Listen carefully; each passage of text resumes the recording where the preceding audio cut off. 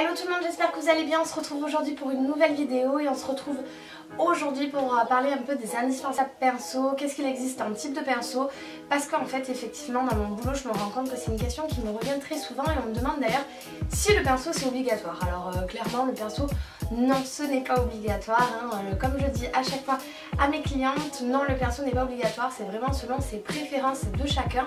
Moi personnellement depuis que j'ai goûté au pinceau je n'arrive pas à appliquer mon fond de teint par exemple sans, sans pinceau, faire non pas que je n'y arrive pas mais je préfère avec on va dire surtout, mais il faut se dire que euh, le maquillage c'est un peu comme de la peinture, il faut faire attention au type de pinceau qu'on prend, c'est un peu comme pour les peintres, on va pas prendre le gros rouleau pour faire des finitions, et bien c'est un petit peu pareil au niveau des pinceaux et c'est pour ça que je vais faire cette vidéo parce qu'elle va vous résumer un petit peu euh, ce qu'il faut pour quel, euh, quel truc, quels sont moi mes pinceaux que j'utilise par contre au quotidien et également une nouveauté qui va arriver chez Sephora dont je souhaitais vous parler. Donc c'est parti, on commence avec la vidéo. Donc on va parler mes indispensables à moi, quels sont les pinceaux que j'utilise tout le temps au quotidien et que je vous recommande d'avoir euh, si euh, vous utilisez des pinceaux ou si vous débutez. Premier pinceau, on va passer avec mon pinceau teint. Donc moi mon pinceau pour le fond de teint c'est un Royal Techniques, alors j'ai pu, c'est le Buffing Brush.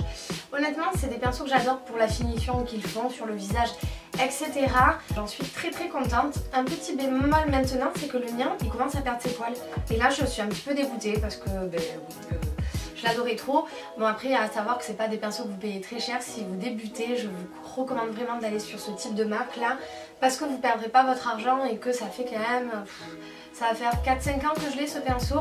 S'il commence au bout de 5 ans à perdre ses poils, c'est pas non plus plus grave parce que je l'ai même pas payé. Il faisait partie d'un kit que j'avais payé à 12 euros. Je vous mets le lien d'ailleurs, je crois que j'avais fait une vidéo à cette époque. Je vous mets le lien euh, juste là, mais ça fait un petit moment que je l'ai. Et honnêtement, euh, voilà, c'est vraiment quand même je trouve du bon rapport qualité-prix. Donc ce pinceau pour le teint, moi j'utilise généralement des pinceaux ronds. Sachez que pour le teint vous avez aussi euh, des petites euh, Beauty Blender. Donc ça celle-ci elle va être bientôt en vente chez Sephora, elle est marbrée, elle est plutôt rigolote. Elle est marbrée comme ceci, je ne sais pas si vous y voyez bien.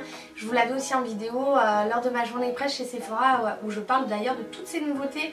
Je vous le mets juste en haut en lien mais je parle de toutes ces nouveautés qui vont arriver chez Sephora. Donc ça, vous avez aussi le Beauty Blender pour le teint. Pour moi, c'est pas forcément mon indispensable, je préfère largement ça.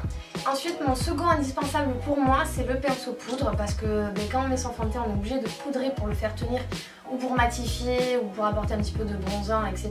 Celui Make Up Forever, lui, je l'adore, il est toujours en vente chez Sephora. Par contre, il coûte un petit peu cher. Je crois qu'il est dans les 40 et quelques euros. De toute manière, je vous mettrai à chaque fois le prix là. C'est le numéro 130. Le poil est juste trop doux. Je l'avais acheté aussi quand j'étais étudiante et que j'étais montée à Paris. Donc lui aussi, il a des années et des années. Et lui, par contre, ne perd pas ses poils, vous voyez Pourtant, je les nettoie tous avec de l'eau et du shampoing et il ne perd pas ses poils. Donc lui, ça serait mon deuxième indispensable pour les pinceaux. Ensuite, troisième indispensable, et là je pense que celui-ci c'est celui où on le plus indispensable, c'est-à-dire que lorsqu'on veut mettre du blush, si on n'a pas un pinceau à blush, je trouve que c'est assez compliqué.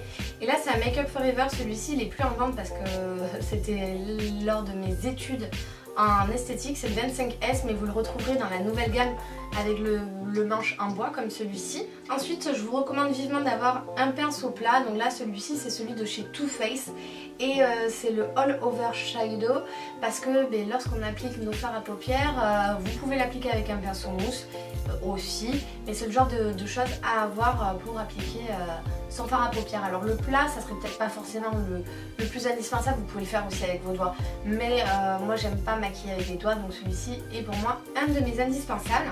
Et après vous avez le pinceau à précision, moi je l'appelle comme ça. Celui-ci c'est encore un Royal Techniques et c'est l'essentiel crease brush. Donc lui il va permettre vraiment de, faire par exemple votre creux de paupière ou de faire les coins externes. Euh, pour moi ça par contre c'est celui-ci qui a révolutionné mon maquillage des yeux. À savoir qu'avant je faisais qu'avec des pinceaux plats quand je ne connaissais pas en maquillage et que j'arrivais pas à obtenir ce que je voyais sur, euh, sur d'autres filles, sur des magazines etc et que grâce à lui j'arrive à l'obtenir. Mais ça ne marchera pas sans lui, c'est-à-dire sans le pinceau mélangeur. Et lui je l'avais eu dans une box, c'est Emit Makeup et c'est le E144. Le pinceau mélangeur est aussi un indispensable pour les yeux parce que si vous voulez que ça soit beau, il faut que ça soit fondu, il faut que ça soit dégradé et sans ça, ça ne sera pas fondu. Vous ne pourrez pas obtenir euh, le même effet avec un comme ça qu'avec celui-ci. Donc le mélangeur est vraiment un gros indispensable, il fera toujours partie de ma trousse aussi. Et pour finir, vous avez le pinceau goupillant. Pour moi, il est très important parce que je me brosse les sourcils avec. Il sert aussi quand je veux m'épiler les sourcils à bien remettre mes, mes sourcils en place. Mais voilà, si j'avais 6 euh, pinceaux et même 7 à vous dire euh, que j'utilise tout le temps, c'est ceux-là. Ceux-là, ils ne me quittent jamais. Ils font toujours partie de ma trousse. Après, bien évidemment, vous avez plein d'autres pinceaux. Donc il existe le pinceau anti-cerne. Celui-ci va vous aider en fait à bien mélanger et à bien fondre votre anti-cerne sur votre œil. Donc lui, c'est le Sephora et c'est le Pro Anti-Poche Concealer anti-cerne fini naturel numéro 57. Euh, celui-ci me sert de temps en temps, mais c'est vrai que l'été je mets pas trop d'anti-cerne, mais l'hiver par exemple il va plus me servir. Je vous en avais parlé lors d'une vidéo make-up. Vous avez également des pinceaux lèvres qui vont vous permettre d'appliquer du rouge à lèvres très précisément. Et euh, honnêtement, euh, je m'en sers pas au quotidien, c'est quelque chose que je me sers pas, mais quand je maquille quelqu'un d'autre, pour moi c'est l'indispensable lorsque je mets du rouge à lèvres sur quelqu'un ça me permet vraiment de le faire très très bien. Ou alors quand je mets un rouge et que je veux être vraiment très très précise je me sers du pinceau lèvres. Il y a également le, pinceau anti-cerne donc celui-ci c'est le numéro 1N de chez Makeup Forever. Lui pour ma part est très important lorsque je mets de, euh, du l'eyeliner gel ou de l'eyeliner et pour finir vous avez aussi les pinceaux à sourcils. Euh, celui-ci c'est l'Anastasia Beverly, Beverly Hills 12 et il sert en fait généralement à prélever la matière euh, pour se dessiner les sourcils. Mais vous avez également un côté qui va être goupillant pour bien brosser et avoir un fini naturel au niveau des sourcils. Donc il existe une multitude de pinceaux. Et je voulais aussi vous dire qu'il existe des pinceaux, alors moi je m'en sers pas trop mais quand même je voulais vous en parler, des pinceaux brosses. Vous voyez c'est des pinceaux comme une brosse à poney, moi je trouve que c'est on dirait une brosse à poney.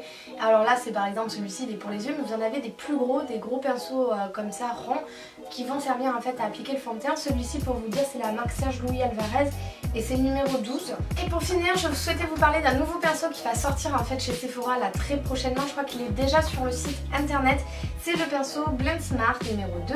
Je vous en parle très rapidement mais vous avez un crash test sur la chaîne de Justine. Je vous mets son lien soit en barre d'infos ou soit en fiche si je peux vous mettre en fiche. Et donc c'est un pinceau révolutionnaire puisque c'est un pinceau rotatif et un pinceau électrique. Alors euh, est-ce qu'il parle en français là-dessus? Est-ce qu'ils disent quelque chose en français?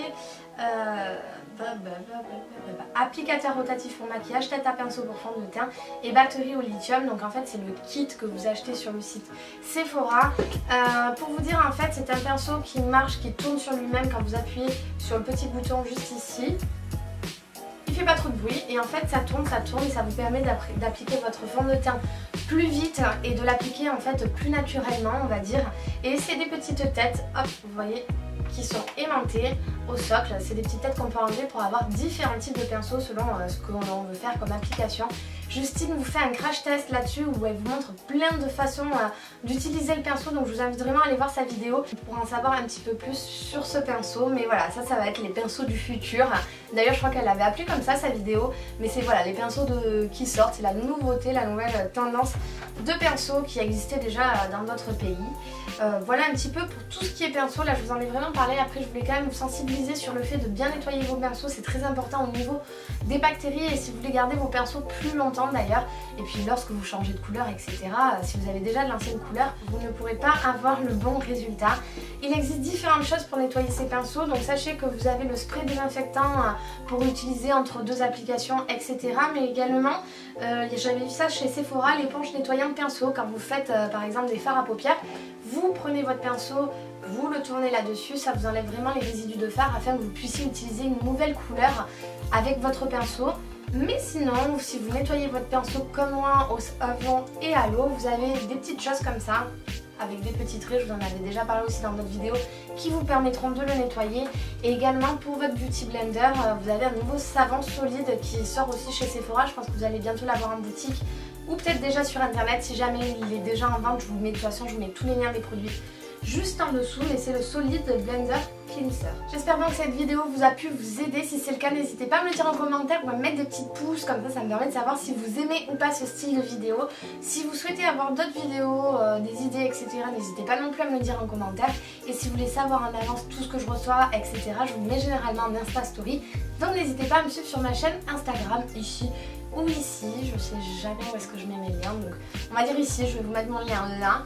Euh, n'hésitez pas du coup à aller voir ma chaîne Instagram et à vous abonner. Je vous parle pas mal aussi d'autres choses aussi sur ma chaîne Instagram. Sur ce, je vous fais plein de gros bisous et j'espère vraiment vous avoir aidé et je vous dis à très vite. Ciao tout le monde